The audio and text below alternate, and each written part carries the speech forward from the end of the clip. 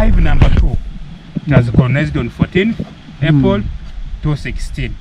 So when I, I do harvest, I record the kilogram that I've got in what? In the hive, eh? in a hive two. So after get after recording it, so that the following season when I do harvest, if I harvest 10 this season, the following day I harvest five, I know what is the problem. Why has it reduced? Mm. Or when it increases, you know that it has done what? It has increased. So this one helps me to identify the what? The different hives and their production.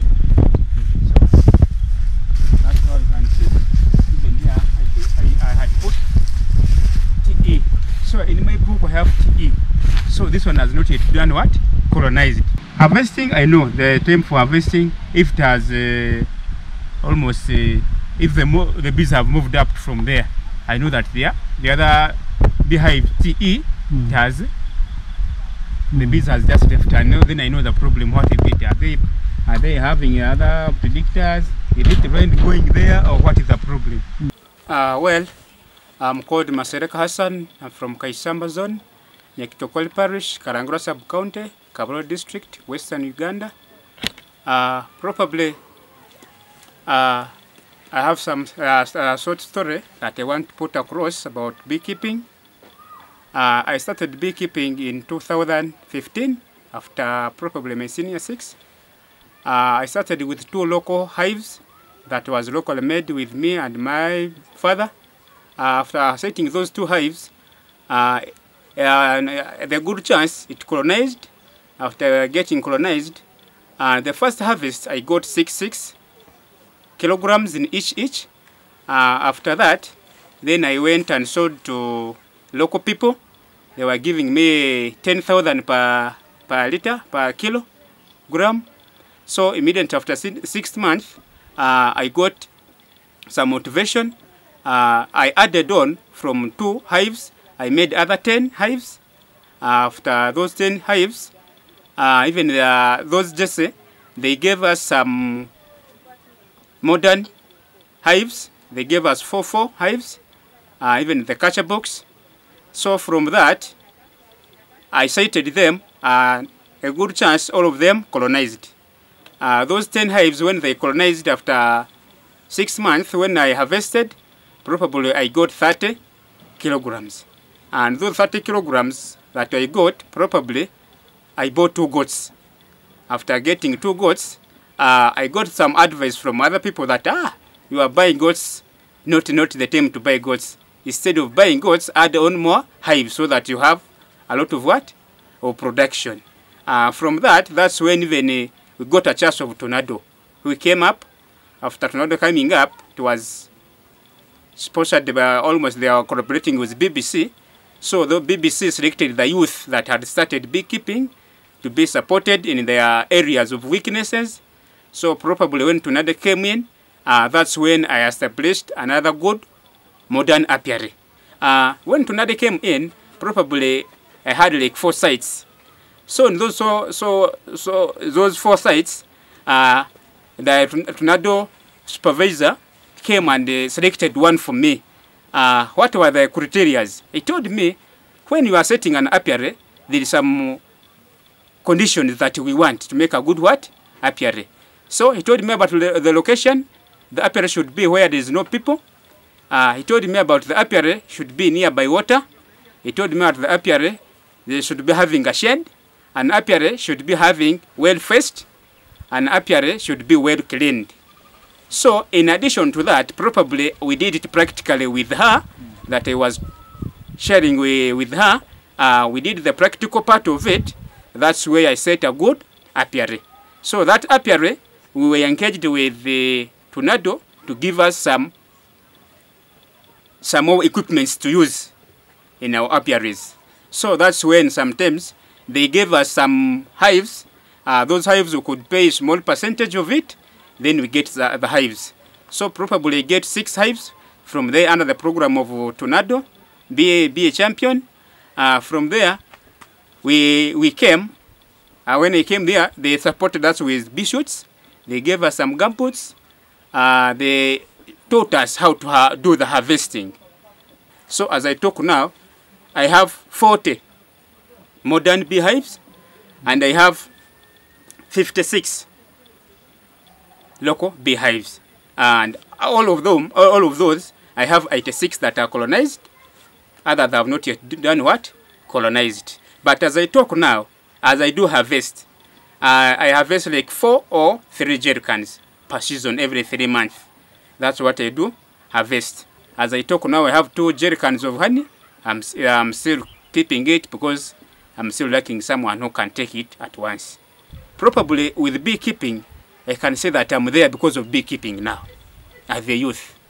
And the thing that I've done in beekeeping, anybody cannot believe. I can say that maybe I'm not the one, maybe I'm a thief, maybe I'm a what. Kumbe, it is the money from what? From beekeeping. One, the first one, beekeeping is cheap. That is the first achievement. It is a matter of getting a site. You put your hive there, it colonizes, you don't provide food, you don't provide spraying, you don't do what? So you don't look for the food for the for the bees. They just do their own what? Their own food. That is the first achievement. The second one, uh, probably I'm a TOT in beekeeping. Probably uh, in the program of TUNADO, uh, we are the uh, we, are the bee champions. Uh, we are told to teach 10 other youth or behind us, other beekeepers. So I did it, I taught them, and they're performing very well. Uh, and I, ex- I gained experience in that training. So of course I could go in the apiary, we do practical work of it. Uh, we do hives, local hives. Uh, we do the monitoring, we do the cleaning, we do the processing. So everything, those skills, I acquired them. So that that is some of the achievement I do. What I got from there. Uh, we have networking. Uh, probably networking. I've got different people calling me for honey. So I've got friends. People who can call me. We want honey. We want to come and train our group about uh, beekeeping.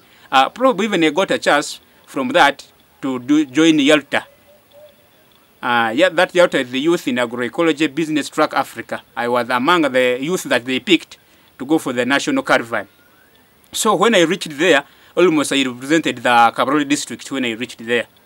So when I reached there, I presented something that I am doing. So about out of 40, I was the seventh in the practical thing and in the agroecology that we are doing. So now from there, after that training, even I was motivated to see other things that they are doing there. So because we're in Imbarara, we went to Kampala, we were in Mbigi, uh, and, and other areas. eh. So when you reached there, probably I was motivated. That's when even you got people there having some campsites.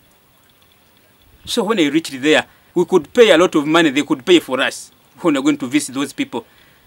And what I asked myself, if someone can do this thing using local available materials, and for me even you have those local materials, why can't I at least practice? Even if I can't paste, but I can practice. I copy and practice. So even that one motivated me. I started making my own what? Campsite. So as you can see now here, you will you will be seeing practically how I'm I'm searching that innovation. So this one I got it from Masaka at St Jude. When I went there for the caravan, that's when I met that innovation. So I motivated to come and do what? Practice. Probably as I talk now in the sub county, if I'm not mistaken, I might be only the one, the youth that can they can almost be that is the model farmer. Because I have the matoke, I have that plantation of matoke, I have bees, I've started the campsite. With environment, I think I'm, uh, I'm even doing with environmental conservation of people from Ministry of Water and Environment. They came to my place, they saw how I planted the foliages, uh, and you know with bees, we are pollinators. We protect the environment. So almost I'm partnering with them, they're giving me something, I'm working with them, planting trees, indigenous trees and even uh, other trees. So those are even part of the what? Of the achievements. So as I talk now, I started even a business, local business. I said that uh, uh, because we are taught about something about gender. So when we talked about gender, I never wanted me to be busy. Yet my wife is not busy. I said, what should I do? So my wife is in charge of vegetables, things that I planted around. Uh, after doing all those things, so having a small business. So that after that, the wife goes to the what? To the business. So I do any things a, okay, it is like a shakara. I do everything. Can find the panga there, I find their sweets, I find their clothes, shoes, everything is there. So even that one was inspired when I was almost in that training. Let, let us involve our partners to be in the what? In the business.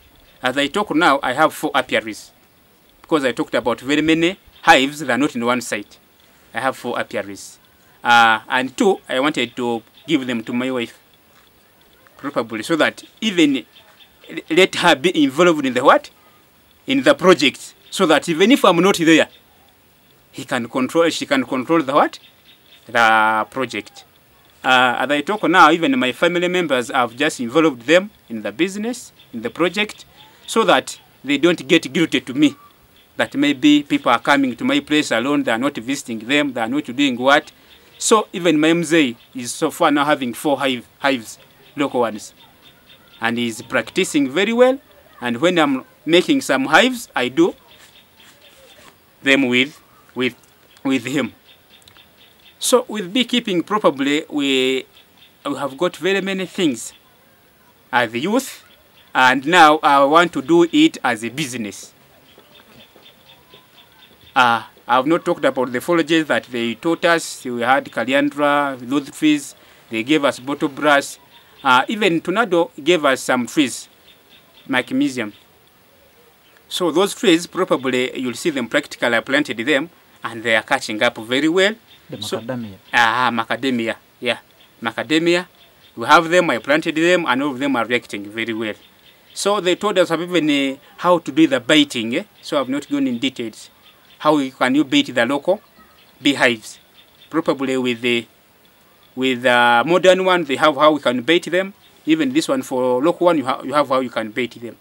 Uh, I'm just passing a message to the youth that let us not waste time in looking for jobs from the government, from where we can use our own hands and even our local available materials to achieve something.